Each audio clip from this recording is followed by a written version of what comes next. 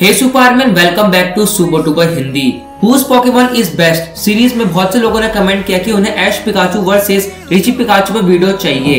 Well तो guys आज की वीडियो होने वाली है who's Pikachu is best Ash और रिची। हमेशा की तरह पोकेमोन्स को उनकी strength ability experience and move set पे कंपेयर करेंगे और देखेंगे कि इन पोकेमोन में से कौन सा पोकेमोन बेटर है। लेकिन वीडियो को स्टार्ट करने से पहले मैं रिक्वेस्ट करूँगा कि अगर आप लोग चैनल पर पहली बार आए हो तो सब्सक्राइब किए बगैर कहीं मत जाना ऐसे ही पोकेमोन की वीडियोस देखने के लिए। तो चलिए फिर बिना किसी देरी के आज के इस पोकेमोन की वीडियो को शुरू करते हैं।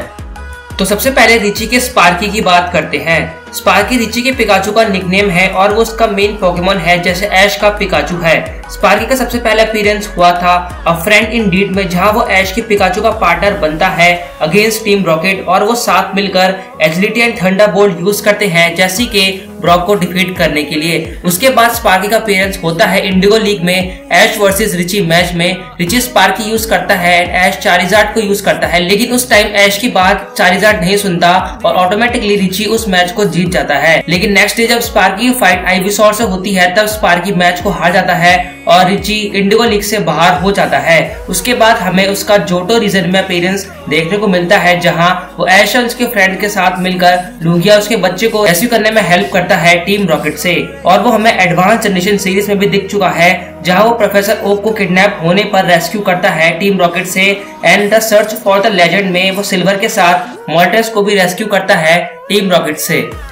अब बात करते हैं ऐश के पिकाचू के बारे में। वैसे तो मुझे बताने की ज़रूरत ही नहीं है पिकाचू के बारे में, लेकिन फिर भी मैं शॉर्ट में बता देता हूँ। पिकाचू ऐश का स्टार्टर पोकेमोन होता है, जो स्टार्टिंग में ऐश को बिजली के झटके देता रहता है।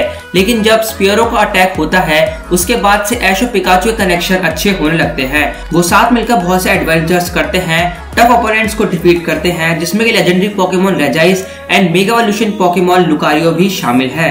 अब तक पिकाचो एश के साथ मिलकर Kanto Johto Hoenn Unova Kalos and Alola region travel कर चुका है और इतने सारे रीजन ट्रैवल कर करके उसने अपने से टफ ओपोनेंट्स को डिफीट किया है। बहुत सारा एक्सपीरियंस गेन किया है और बहुत से मूव्स को लर्न भी किया है और ऐश को जिम बैजेस दिलवाए हैं पोकेमोन लीग में पार्टिसिपेट करने के लिए। न्यू रीजन में आते ही उसकी पावर्स रीसेट हो जाती है। पिकाचू ऐश का चड्डी बड्डी है, जिसे ऐश अपने आप से बिल्कुल भी अलग नहीं कर सकता। पिकाचू ने इम्पॉसिबल चीज़ों को भी पॉसिबल करके दिखाया है और बिना इवॉल्व हुए भी उसने अपने से स्ट्रॉन्ग ओपोनेंट्स को डिफीट किया है जिसमें से एक लेजेंडरी पोकेमोन लेटियोस है। पिकाचू ने उसके साथ टाई किया था। पिकाचू एक वेल नोन पोकेमोन है, जिसे हर कोई जानता है। और ऐसा हम पोकेमोन एनिमे में देख भी चुके हैं। ऐश पिकाचू का बॉन्ड इतना स्ट्रॉन्ग है कि हमें ऐसा स्ट्रॉन्ग बॉन्ड किसी और पोकेमोन और उसके ट्रेनर के बीच देखने को नहीं मिला है। अलग रीजन में पिकाचू जी मूव्स को भी यूज़ कर सकता है, जो कि बहुत ही स्ट्रॉन्ग मूव है। वेल तो सबसे पहले पॉइंट स्ट्रेंथ एंड एबिलिटी की बात करते हैं। ऐश की पिकाचू की बात करें तो जब भी वो न्यू रीजन में ट्रेवल करता है, उसकी पावर्स रीसेट हो जाती हैं। लेकिन फिर भी वो हर पोकेमोन के सीज़न में ये प्रूव करता है कि वो छोटा भले ही है, लेकिन वो धमाके जोरदार करता है। उसने लेजेंडरी पोकेमोन रजाइस को डिफीट किया है मेगावल्यूशन पोकेमोन लुकारियो को हराया है, और लेजेंडरी पोकेमोन लेटियास के साथ अपना मैच टाई भी किया है। कितनी बार टाइप डिसएडवांटेज होते हुए भी उसने बैटल्स में जीत हासिल की है हारते हारते भी पोकेमोन बैटल्स को जीता है। चाहे वो बैटल्स पॉकीमोन लीग की हो या जिम लीडर की या फिर टैग बैटल उसने कभी भी हार नहीं मानी है। और अब तो वैसे भी पिकाचू जी मूव को यूज़ कर सकता है, जिसमें कि वो स्टील टाइप और इलेक्ट्रिक टाइप मूव भी यूज़ कर सकता है जी मूव के। और वहीं अगर रिची के स्पार्की की बात करें तो उसकी पावर को खुल के नहीं दिखाया गया है।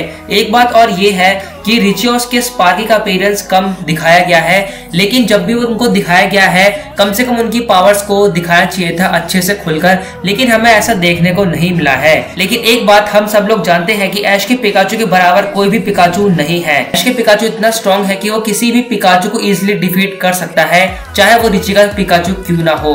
तो मेरे ख्याल से स्ट्रेंथ एबिलिटी का पॉइंट जाता है ऐश के पिकाचू के पास।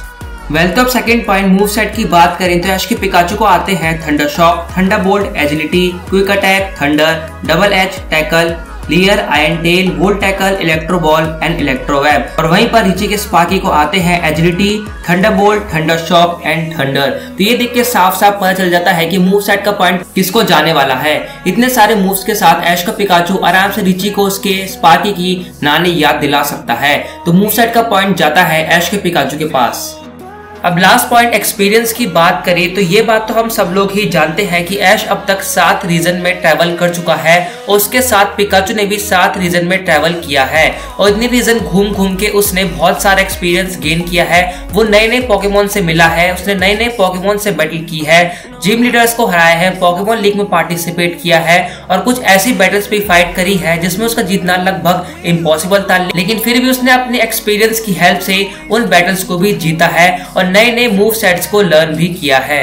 लेकिन वहीं अगर रिची के स्पार्की की बात करें तो वो अब तक कैंटो और जोटो में घूमा है और बाकी का हमें बताया ही नहीं गया है कि वो और कहाँ कहाँ पर घूमा है। उसने कितना एक्सपीरियंस गेन किया है। तो सभी चीज़ों को ध्यान में रखते हुए एक्सपीरियंस का पॉइंट जाता है ऐश के पिकाचू के पास और इसी तरह ऐश के पिकाचू के पास तीन पॉइंट होते हैं और आज की वीडियो का विनर होता है ऐश का पिकाचू वेल तो गाइस ये थी मेरी आज की वीडियो और आप लोग बिल्कुल भी चिंता मत करो। आप लोग जो भी कमेंट करते हो कंपैरिजन वीडियो के लिए मैं हर एक टॉपिक पे वीडियो बनाने वाला हूँ, लेकिन उसके लिए मेरे को टाइम लगेगा, क्योंकि मैं धीरे धीरे ही सभी टॉपिक्स पे वीडियो बनाऊँगा।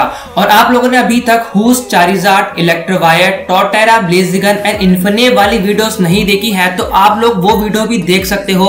उन सभी का लिंक आपको डिस्क्रिप्शन में मिल जाएगा, या आप मेरी प्ले में जाके हुस पॉकेमन इस बेस्ट सीरीज़ को देख सकते हो वहाँ पे आपको मेरी सारी वीडियोस मिल जाएँगी इस टॉपिक से related so guys thank you for watching video अच्छी लगी हो तो वीडियो को लाइक और कमेंट करना बिल्कुल मत भूलना आज का लाइक टारगेट है 1000 लाइक और चैनल पहली बार आए हो तो सब्सक्राइब के बगैर कहीं मत जाना ऐसे ही वीडियोस देखने के लिए सो गाइस मिलता हूँ मैं आपसे अगली वीडियो में till then bye Pikachu, Pika, Pika, Pikachu, Pika, Pika, Pikachu, Pika, Pika, Pikachu, Pika, Pika, Pikachu.